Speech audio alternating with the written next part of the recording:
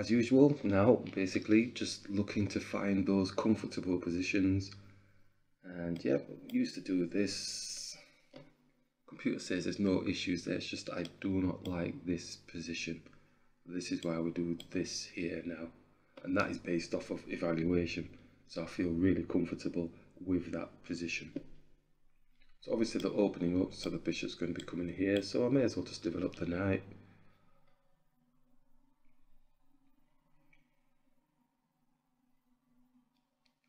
Knight's coming down. Are they going for it? The knight and the bishop for a rook.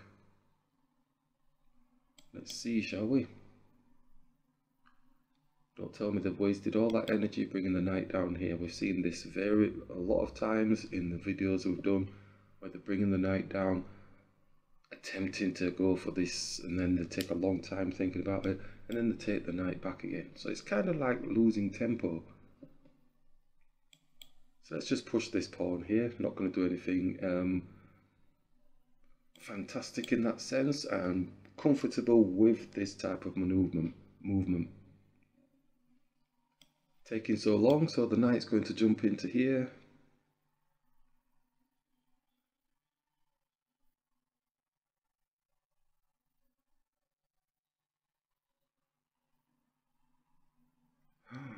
The knight hasn't jumped into there, so we're going to take here, so looking for replication with the knight.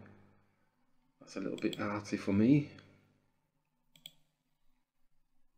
It's a little bit too outy for me. Let's hit the knight with a smaller piece. Let's attack their knight.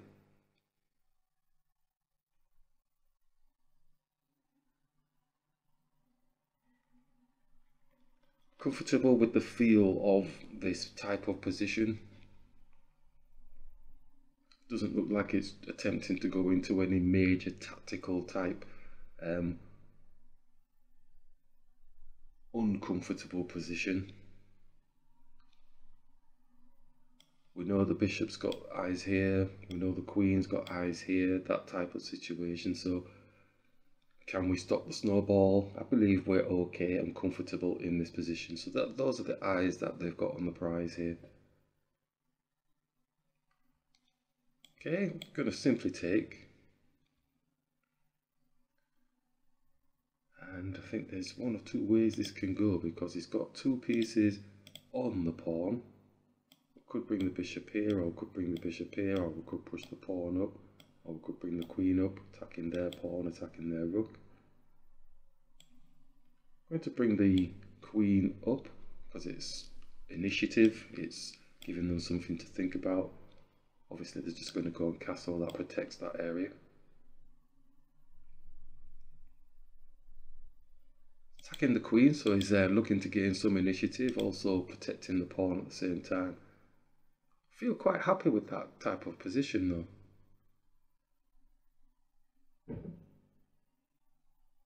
Yeah, I mean we've got Sisa coming here, so at some point maybe we just keep the queen behind our pawn, just attack their bishop, get the bishop off the board situation. Nice and simple. Then it don't look like they're looking for anything too fancy in terms of tactics. Now they're now stretching towards coming here, but this bishop is blocked. So we could continue with the bishop attacking the bishop, it's x-raying through to the king.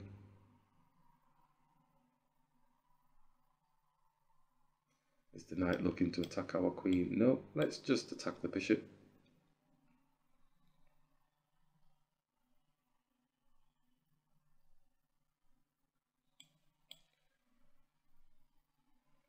Okay, the knight's protecting this pawn, so the knight's not going to be able to take. So I think the pawn's probably just going to attack the uh, knight. Can swing it here, but he's got two pieces on that square, so we can't do that at the moment We'd have to have this here.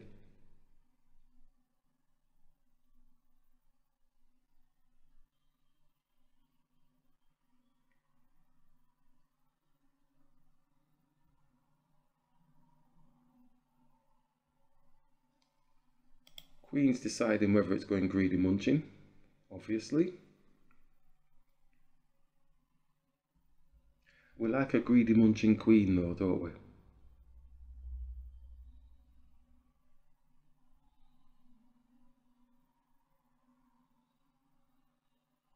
Even it's not going for the greedy munch. Just about to say, even though they're a pawn up when they've greedy munch, does it really improve their position on the board? That's the key thing that we've, we have to ask ourselves. So our, our arrow is still on this point here, so we could still continue with that, or we could just go and get the rook, because the knight was protecting this square, as we knew, but now the knight's moved, they may have a different tactic. Uh, so we can take the rook because the king hasn't moved off the line. Is there method in their madness? Let's go here. Is he looking for a 2 on 1 at some point on this pawn or something?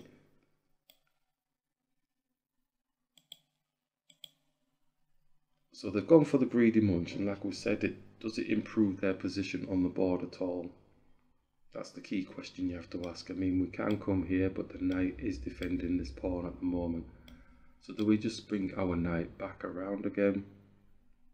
Get it to safety somehow?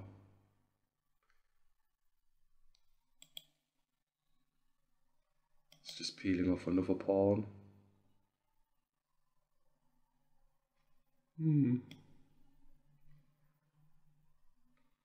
Could go here defending the pawn. Should we give this a... But then he's got this pawn. Can't go here. Could drop down and then we're protecting both pawns. Um, does it seem right though? Does it seem right?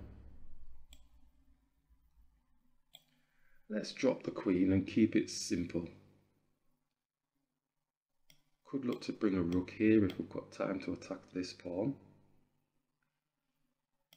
Maybe the knight's going to get trapped because the king will come and defend. Okay, so there's a lot of shifty business going on. So we could go with the rook here or go with the rook here. Go with the rook attacking the undefended pawn. See if we can squish, but his king's looking to get our knight. Well, the rook is looking to get our knight. Our queen's on a dark square. It's defending with the queen. Does that mean we can come here to come here just to get safe? I think we'll do that. May as well.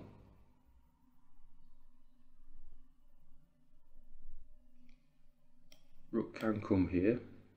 Putting a check on the queen, but I thought, well, might as well keep as many pieces on. Oh, now we can't do it. But the knight is defending this area, so we can. So maybe he goes and attacks our knight.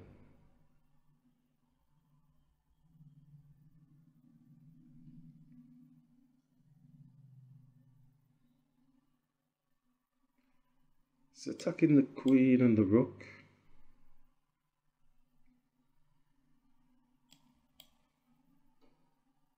And they've resigned. Okay, so that was a bit of a move order thing. Um, and a little bit of a snowball started taking effect there whether we were winning or losing. Shall we take a look at the analysis on that one because it just seemed to be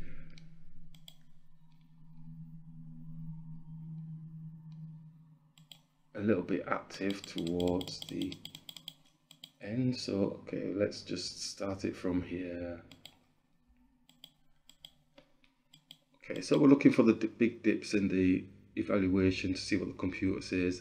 As you know as usual i'm using my own evaluation as well so if i feel that i feel more comfortable doing the movement i did even if the gauge bar drops i usually do pay attention to it if it goes below you know the two mark either if it's like plus two or minus two depending on what color i am. So plain black here if it goes to minus sorry if it goes plus two for the opponent then obviously I, I might take a bit of consideration. But I will have a look at the position first. Okay, so we're grabbing, grabbing, and minus 0.7, that's okay, that's alright, so we grabbed. So it's around about here where really it could get a little bit funky. We had rationale for every bit of movement. So this has dropped plus something for them. Doesn't like the attempt at going for the bishop exchange. probably because of the discover check behind, you know, for the queen going for the greedy munching pawn. But that's where we don't have an issue with that. As we've always said, if the if the queen is taking, it's going to the other side of the board, the king is becoming a little bit more home alone. Obviously, purists would say, no, I'm getting more material, so I'm winning. So then the knight did move, and that gave us the opportunity to actually go and get the rook, because the knight was actually defending this square. So we could take the rook off the board, then the queen goes for the greedy munch anyway. So we bring the queen down, it's supporting both, but yeah, I suppose it's supporting both if the knight takes, the queen takes, the knight. So they push down, and then we look to actually attack the undefended pawn. Queen comes back, bring the knight into the game. Now, I'm not too sure about this uh, next move. Okay, so there's no issues with that. Uh, it's got a bit of an issue with that. It's got a bit of an issue with that. So what was the scores on the doors? Were we supposed to push the pawn? Say knight d4. Is it stopping this or something? So I went there when we went for a rook check. I mean, it's still minus, but it's dropped like seven points.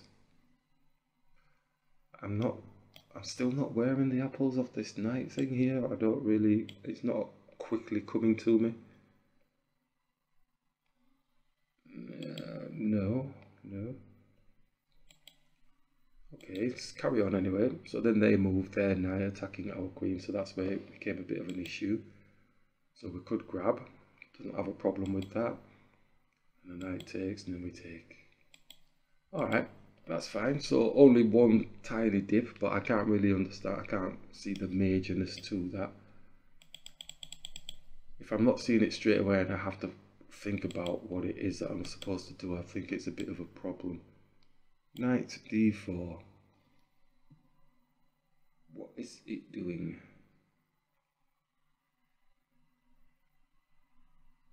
So his knight could still, well, it could go there, but the knight would take it. I think it's just there to stop this knight from coming here, isn't it?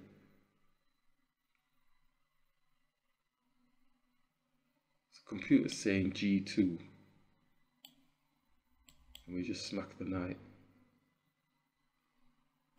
Doesn't say smack the knight though, it says F5. Oh, smacking the queen. A bit of a muchness really, but it does say it did drop seven points, so maybe I have to pay attention to that, I think. It just looks slow. I, I want to... No. Mm -hmm.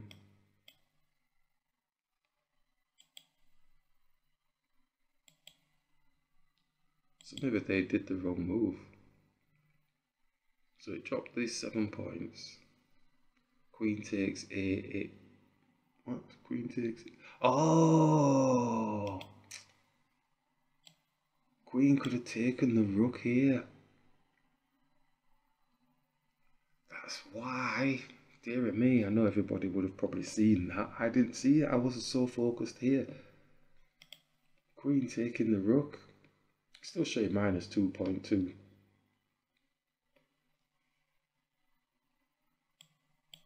King h7, so it's not really given them, it's just dropped the seven points.